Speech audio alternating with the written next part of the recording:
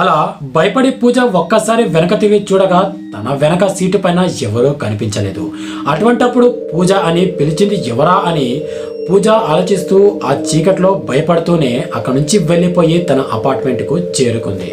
కానీ నిజానికి తన అపార్ట్మెంట్ ఊరి చివరన కట్టడం వల్ల ఆ చుట్టుపక్కల ప్రాంతం మొత్తం చీకటిగానే ఉంది. అలా పూజ తన అపార్ట్మెంట్కి చేరుకున్న తర్వాత కాస్త రిలీఫ్ అయింది. ఎందుకంటే రోడ్డు పైన తను ఒక్కటే జర్నీ చేయడం వల్ల తను ఎంతగానో భయపడిపోయింది. అపార్ట్మెంట్కి చేరుకున్న పూజ లిఫ్ట్ ద్వారా తను ఉండే ఫ్లోర్కి వెళ్దామని లిఫ్ట్లో ఎక్కి వెళ్తూ ఉండగా అనుకోకుండా లిఫ్ట్ మధ్యలోనే ఆగిపోయింది.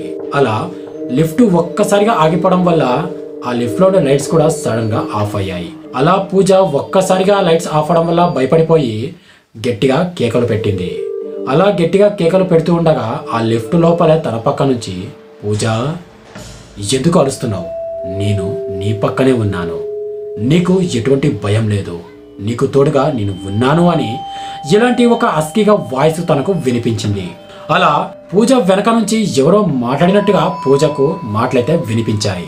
అలా ఆ మాటలు వినగానే పూజ ఒక్కసారిగా భయపడి గట్టిగా అరిచేసింది. అలా గట్టిగా అరవగానే ఆ లెఫ్ట్లో ఉన్న లైట్స్ సడన్గా ఆన్ అయ్యాయి. లిఫ్ట్ కూడా ఉన్నటువంటి ఒక్కసారిగా పనిచేయడం స్టార్ట్ అయింది. దాంతో పూజ లిఫ్ట్ డోర్ ఓపెన్ చేసి బయటికి రాగా తను వచ్చింది ఫస్ట్ ఫ్లోర్కి మాత్రమే అని పూజ పక్కన ఉండే ఫ్లోర్ నెంబర్ చూసి షాక్ అయింది.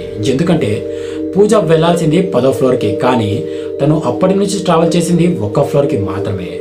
పూజ అది చూసి ఒక్కసారిగా షాక్ అయ్యి మెట్ల ద్వారా వెళ్దామని పూజ స్టెప్స్ ఎక్కుతూ వెళ్తూ ఉంది. అలా తను ఒక్కొక్క మెట్లు ఎక్కుతూ ఉండగా తన వెనుక భాగం నుంచే ఎవరో తనని ఫాలో అవుతున్నట్టుగా ఫుడ్ సౌండ్స్ తనకు వినిపించాయి.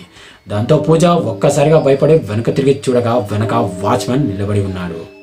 వాచ్మెన్ ఎందుకు నువ్వు నా వెంట వస్తున్నావు? అని అనగా అప్పుడు వాచ్మెన్ ఏం చెప్పాడంటే లేదు మేడం ఈ అపార్ట్మెంట్లో ఎవరో గట్టిగా అరిచినట్టుగా నాకు శబ్దాలు వినిపించాయి.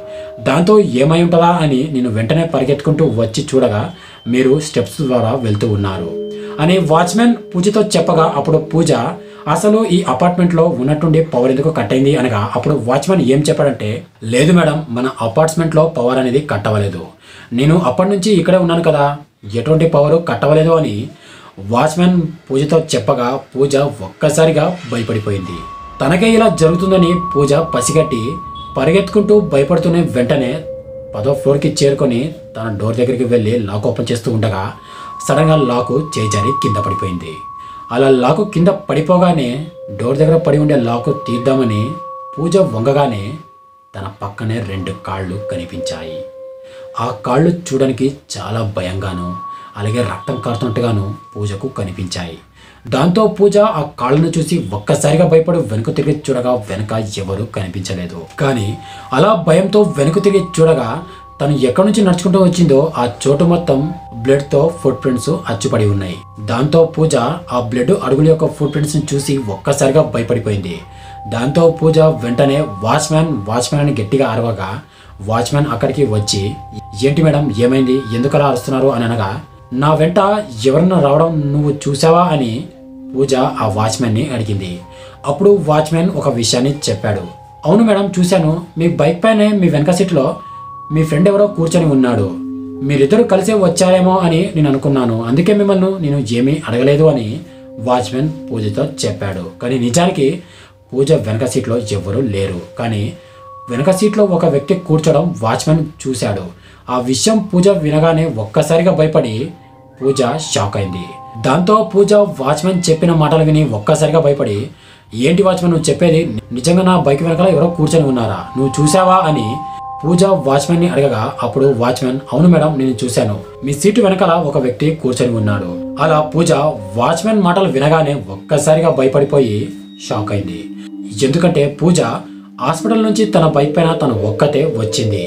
తన బైక్ పైన ఎవరిని తీసుకురాలేదు. కానీ వాచ్మెన్ మాత్రం బైక్ పైన ఒక వ్యక్తిని చూశాడని చెప్పడం వల్ల పూజ ఎంతగానో భయపడిపోయింది. అప్పుడు పూజ ఆ వాచ్మెన్తో చూడు వాచ్మెన్ అన్న నా బైక్ పైన కూర్చున్న వ్యక్తి చూడడానికి ఎలా ఉన్నారు అని పూజ ఆ వాచ్మెన్ని అడిగింది. అప్పుడు ఆ వాచ్మెన్ ఏం చెప్పాడంటే ఓకే ఫ్రెండ్స్ మిగతా స్టోరీని రెండవ ఎపిసోడ్లో చూద్దాం. ఇప్పటి వరకు ఎవరైతే ఈ స్టోరీని ఎండ్ వరకు వాచ్ చేశారో ఈ స్టోరీ పట్ల మీ ఒపీనియన్ ఏంటో కామెంట్ సెక్షన్లో కామెంట్ చేయండి. అలాగే ఈ స్టోరీ నచ్చినట్టయితే ఒక లైక్ చేయండి. పార్ట్ టూలో ఈ స్టోరీకి సంబంధించిన ఎన్నో భయాన్ని కలిగించే సన్నివేశాలు మీకు ఎదురవుతాయి. సో ఎవరు పార్ట్ టూని మిస్ కాకుండా ఖచ్చితంగా వాచ్ చేయండి. అసలైన స్టోరీ అసలైన కథ పార్ట్ టూలోనే ఉంటుంది. సో ఎవరు మిస్ కాకుండా పార్ట్ టూ కోసం వెయిట్ చేస్తూ ఉండండి. అంతవరకు స్టేట్యూన్ మళ్ళీ కలుద్దాం.